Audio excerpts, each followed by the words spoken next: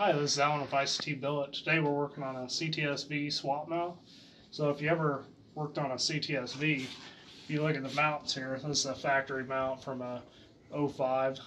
Um, this here has normal four holes, mounting holes here on the like a truck block.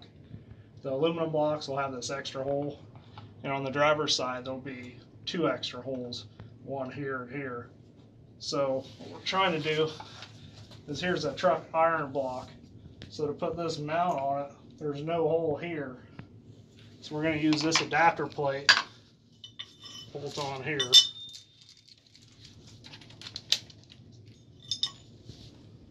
That'll give us our third hole.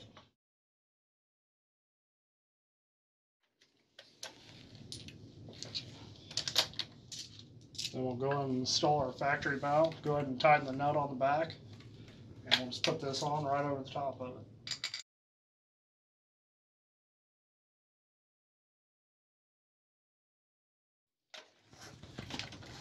Then we're going to install our factory dipstick tube from the CTSV.